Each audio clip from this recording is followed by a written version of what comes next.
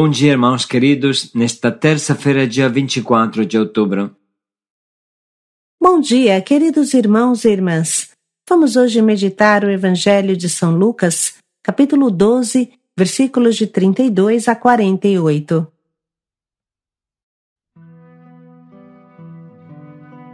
É preciso vigiar e ficar de prontidão. Forte é o convite de Jesus a ficar sempre bem acordados, prontos para acolhê-lo. Lucas insiste com inúmeras palavras. O cristão deve ter sempre os rins cingidos, pronto para viajar, as lâmpadas acesas para enxergar bem tudo.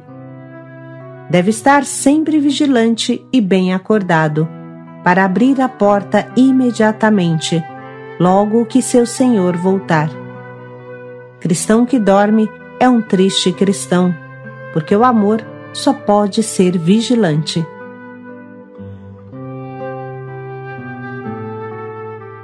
O Senhor esteja convosco. Ele está no meio de nós. Proclamação do Evangelho de Jesus Cristo segundo Lucas. Glória a vós, Senhor. Naquele tempo disse Jesus aos seus discípulos: Não tenhais medo, pequenino rebanho, pois foi do agrado do Pai dar-vos o reino. Vendei vossos bens e dai esmola. Fazei bolsas que não se estraguem, um tesouro no céu que não se acabe. Ali o ladrão não chega, nem a traça corrói. Porque onde está o vosso tesouro, aí estará também o vosso coração os vossos rins estejam cingidos e as lâmpadas acesas. Sede como homens que estão esperando o seu Senhor voltar de uma festa de casamento para lhe abrirem imediatamente a porta logo que ele chegar e bater. Felizes os empregados que o Senhor encontrar acordados quando chegar. Em verdade vos digo, ele mesmo vai cingir-se fazê-lo sentar-se à mesa e passando os servirá. E caso ele chegue à meia-noite ou às três da madrugada, felizes serão se assim os encontrar. Mas ficai certos, se o dono da casa soubesse a hora em que o ladrão iria chegar, não deixaria que arrombasse sua casa. Vós também ficai preparados, porque o filho do homem vai chegar na hora em que menos o esperardes. Então Pedro disse: Senhor, tu contas esta parábola para nós ou para todos? E o Senhor respondeu: Quem é o administrador fiel e prudente que o Senhor vai colocar à frente do pessoal de sua casa para dar comida a todos na hora certa? Feliz o empregado que o patrão ao chegar encontrar agindo assim. Em verdade eu vos digo, o Senhor lhe confiará a administração de todos os seus bens. Porém, se aquele empregado pensar, meu patrão está demorando, e começar a espancar os criados e as criadas, e a comer e a beber e a embriagar-se, o senhor daquele empregado chegará num dia inesperado e numa hora imprevista, ele o partirá ao meio e o fará participar do destino dos infiéis. Aquele empregado que, conhecendo a vontade do Senhor, nada preparou nem agiu conforme a sua vontade, será chicoteado muitas vezes. Porém, o empregado que não conhecia esta vontade e fez coisas que merecem castigo será chicoteado poucas vezes. A quem muito foi dado, muito será pedido. A quem muito foi confiado, muito mais será exigido. Palavra da salvação. Glória a vós, Senhor.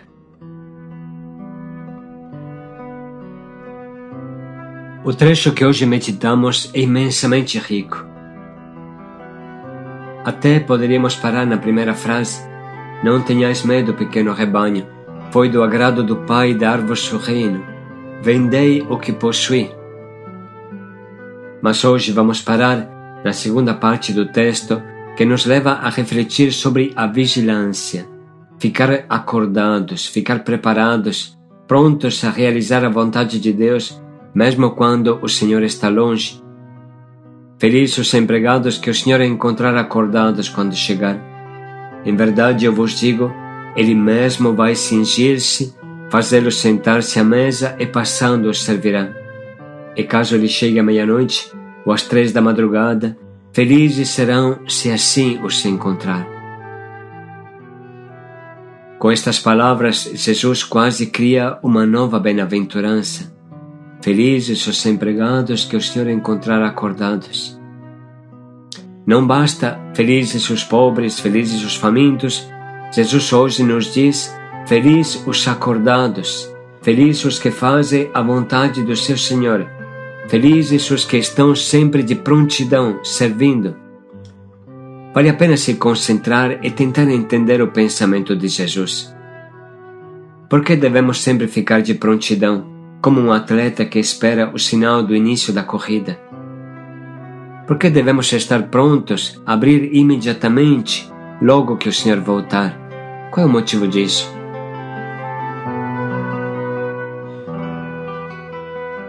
É claro que atrás da atitude da prontidão na acolhida está uma outra atitude mais profunda: o interesse para as coisas de Deus. Esperar significa eu estou interessado no que está chegando. Para mim é importante o que está chegando. Eu não quero decepcionar o meu Senhor, que tanto amo. Quem ama não dorme. O amor te deixa vigilante até durante o teu sono. Deus não costuma enfiar goela abaixo as suas graças, mas precisa que a pessoa peça, busque, procure, bata a porta. Podemos lembrar a frase do profeta Jeremias no capítulo 29. Se me procurardes, vós me encontrareis. Quando me seguirdes de todo o coração, eu me deixarei encontrar por vós. Muito do nosso encontro com Jesus depende da nossa busca e da nossa sede dele. Quem não procura, nunca encontrará. Essa é uma realidade forte e terrível. A nossa experiência de Deus depende da vontade que temos de encontrá-lo, depende da nossa espera, do nosso grito silencioso. Vem, Senhor Jesus, vem, Senhor Jesus. Jesus nos coloca diante dos olhos a atitude certa, a consciência de que esta vida é um campo de trabalho, um teste rápido para a vida do céu e deve ser vivida com um pensamento constante no último dia. Ficai de prontidão, esperando Jesus voltar. O Filho do Homem vai chegar no dia e na hora em que menos o esperardes. Ele vai querer encontrar pessoas dignas que o substituíram dignamente nesta terra. O trabalho do servo bom consiste em cuidar melhor que puder, mais que puder, cuidar de quem se encontra abaixo dele. Ele é um administrador, um executivo, fiel e prudente que Deus coloca à frente da sua casa. O mordomo, como se fala em outros evangelhos, Nessa altura, vale a pena se concentrar sobre a figura do administrador fiel, ou seja, da pessoa que é responsável da família do Senhor, do coordenador. Talvez Pedro esperava que a exigência de Jesus fosse somente para o soldado simples, para o peão da obra, mas Jesus pensa diferente. Então Pedro disse: Senhor, Tu contas esta parábola para nós ou para todos? E o Senhor respondeu: Quem é o administrador fiel e prudente que o Senhor vai colocar à frente do pessoal de sua casa para dar comida a todos na hora certa? Feliz o empregado que o patrão, ao chegar, encontrar agindo assim. Jesus é uma pessoa atenta, aguda, inteligente, cuidadosa e pede o mesmo aos seus seguidores. Uma pessoa que dorme no ponto nunca poderá ser discípulo de Jesus, porque o que mais Jesus pede é ficar atentos, acordados no amor. Amar sem dormir, amar sem distração, amar com uma determinada determinação, como falava Santa Teresa de Ávila. Acabar com o nosso egoísmo camuflado, com a nossa omissão.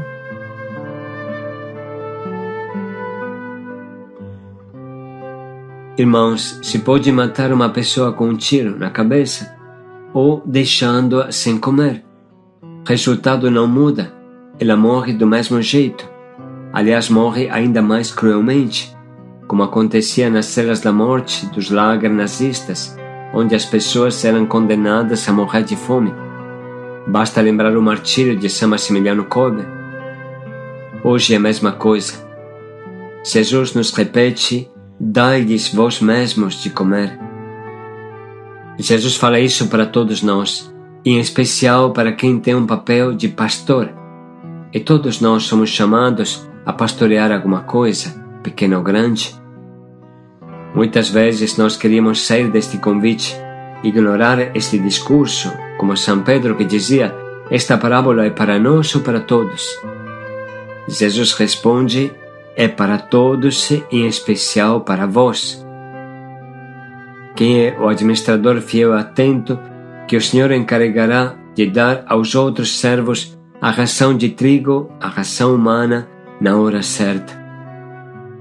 E este servo que conhece a vontade do seu Senhor e não a faz, será chicoteado muitas vezes. Os demais servos que não conhecem a vontade do seu Senhor e não fazem porque não conhecem, serão chicoteados poucas vezes. Muitos devemos refletir sobre isso.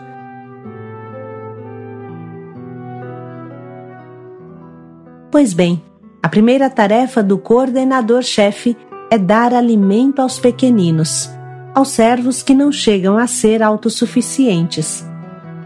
Dar comida espiritual em primeiro lugar, mas também comida material. Como seria bom se na Missão Belém tivesse essa preocupação de uns pelos outros. Quem tem mais condição do que os outros pudesse partilhar, pudesse se preocupar. Se preocupar com o irmão, essa é a palavra-chave. Se interessar, se preocupar, sofrer o que ele sofre, se identificar com ele. Hoje, Jesus nos convida a ser fiéis no amor, a dar a quem precisa a justa ração de alimento espiritual e corporal na hora certa. Observe esta última fineza de Jesus, na hora certa. Não se trata de dar em qualquer hora, mas de educar, formar ensinar a se alimentar, a adquirir hábitos saudáveis de alimentação se você der um biscoito em qualquer horário a uma criança, você vai estragar ela, o seu estômago. Faz parte do amor de quem tem responsabilidade saber a hora certa para qualquer coisa, saber a hora certa de comer, a hora certa de fechar a boca, a hora certa de descansar e a hora de trabalhar. Manter uma serena ordem familiar. Vamos agora ler novamente esse trecho, pedindo que Jesus nos ilumine e nos faça entender como hoje podemos ser ativos, fiéis, inteligentes no amor. Não tenhais medo, pequenino rebanho, pois foi do agrado do Pai dar-vos o reino. Vendei vossos bens e dai esmola. Fazei bolsas que não se estraguem, um tesouro no céu que não se acabe. Ali o ladrão não chega nem a traça corrói. Porque onde está o vosso tesouro, aí estará também o vosso coração. Os vossos rins estejam cingidos e as lâmpadas acesas. Sede como homens que estão esperando o seu Senhor voltar de uma festa de casamento para lhe abrirem imediatamente a porta logo que ele chegar e bater. Felizes os empregados que o Senhor encontrar acordados quando chegar. Em verdade vos digo, Ele mesmo vai cingir-se, fazê-los sentar-se à mesa e passando os servirá. E caso ele chegue à meia-noite ou às três da madrugada, felizes serão se assim os encontrar. Mas ficais certos, se o dono da casa soubesse a hora em que o ladrão iria chegar, não deixaria que arrombasse sua casa. Vós também ficai preparados, porque o filho do homem vai chegar na hora em que menos o esperardes. Então Pedro disse: Senhor, tu contas esta parábola para nós ou para todos? E o Senhor respondeu: Quem é o administrador fiel e prudente que o Senhor vai colocar à frente do pessoal de sua casa para dar comida a todos na hora certa? Feliz o empregado que o patrão ao chegar encontrar agindo assim. Em verdade eu vos digo, o Senhor lhe confiará a administração de todos os seus bens. Porém, se aquele empregado pensar, meu patrão está demorando, e começar a espancar os criados e as criadas, e a comer e a beber e a embriagar-se, o senhor daquele empregado chegará num dia inesperado e numa hora imprevista ele o partirá ao meio e o fará participar do destino dos infiéis.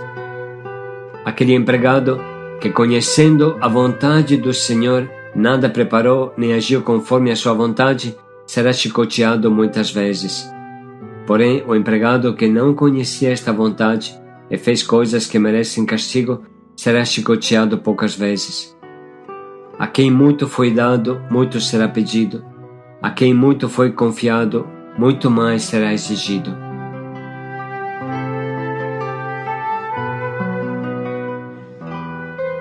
Podemos parar um minuto e anotar as frases que mais nos atingem nessa maravilhosa leitura.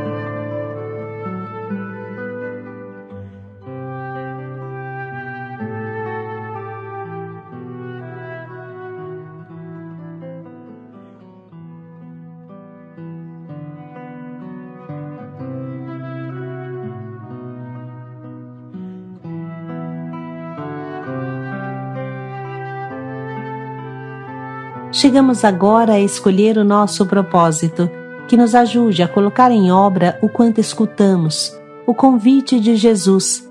Ficai de prontidão, lâmpadas acesas, esperando o Senhor voltar. Acordados, ficai preparados.